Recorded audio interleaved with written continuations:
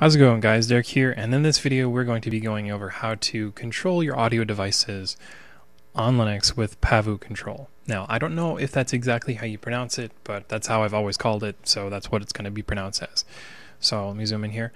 There are two different apps for Pavucontrol. There's the Qt version, and then there's the GTK version. So let me show you what I'm talking about. So we do app search, Pavucontrol, we can see there is the regular version, and now this is the version you would install if you're using the GNOME desktop or Cinnamon or something like that, something that doesn't look like KDE.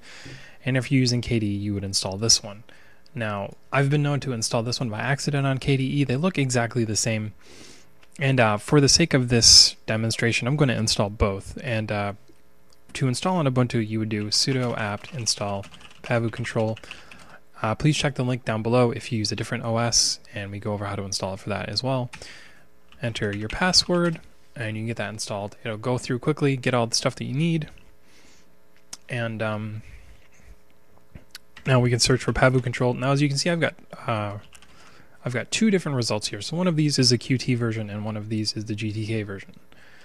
They both do the same thing, but let's open up both just for the sake of, uh, you know.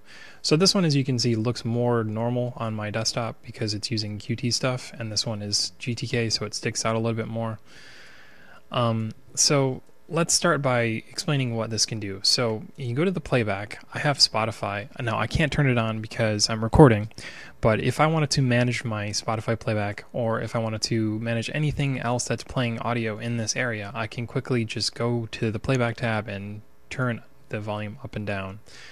Same thing for recording. You can see my voice is recording through this, and if I need to turn the voice down in the recording or turn it up, I can quickly go here and I can manage it. I can also swap out the microphone at any time. Of course, if I do that, you're gonna it's gonna sound weird, so I'm not gonna bother with messing with that. But that's where you go over here. You can also unlock this, and you can change the front and front left and front right channel.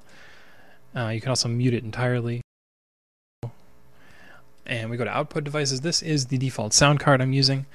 Right now I have it at at uh, about 46%, which is negative 20 decibels. If I want it on an even 50, I could drag it right here. I could also set it to 100, and there are advanced settings as well, like the latency offset. And uh, that's how that part works.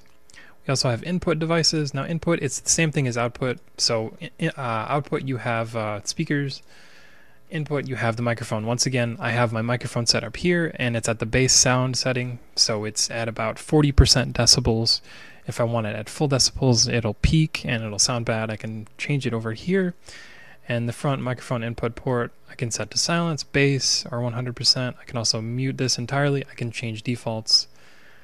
And uh, we can also uh, we can also configure sound cards in this. This is my this is why this is one of my most used applications because I have many different sound cards. And uh, I have a USB sound card in my hand right here. So I can plug this USB sound card in and it'll instantly be detected here. I can enable or disable this sound card. I can do the same thing with my USB microphone. I can change the input.